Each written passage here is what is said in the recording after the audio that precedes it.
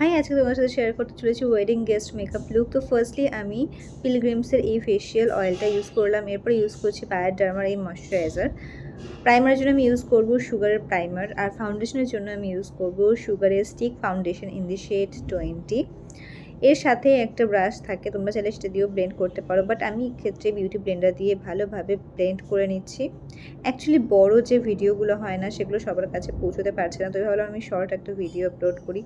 তোমাদের হয়তো ভালো লাগবে, তোমাদের সবার কাছে হয়তো পৌঁছবে। এরপর ইনসাইডের এই কন্ট্রোল প্যালেটটার থেকে আমি কনসিলারও অ্যাপ্লাই করলাম, আর ডার্ক শেডটা নিয়ে আমি নোজ কন্ট্রোল ফেস কন্ট্রোল করে নিলাম। আর ফুল ফেসটাকে আমি সেট করে নিলাম সুগারের ব্যানানা পাউডার দিয়ে।